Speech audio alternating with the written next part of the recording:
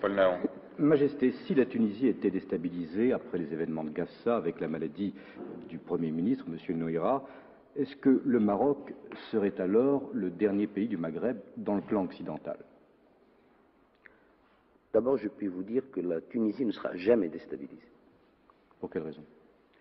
Parce que la, la, Tunisie est un peuple. Et on ne déstabilise pas un peuple. On peut déstabiliser un régime. On peut faire que ce pays marche claudiquant ou en peinant pendant des années.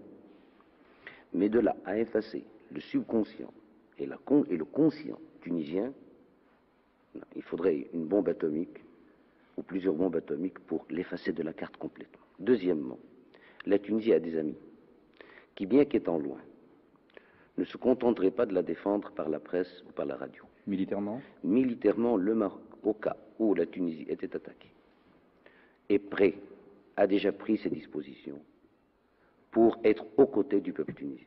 Mais quant à penser qu'on peut déstabiliser la Tunisie, tant qu'il aura un Tunisien, le peuple tunisien restera. Je.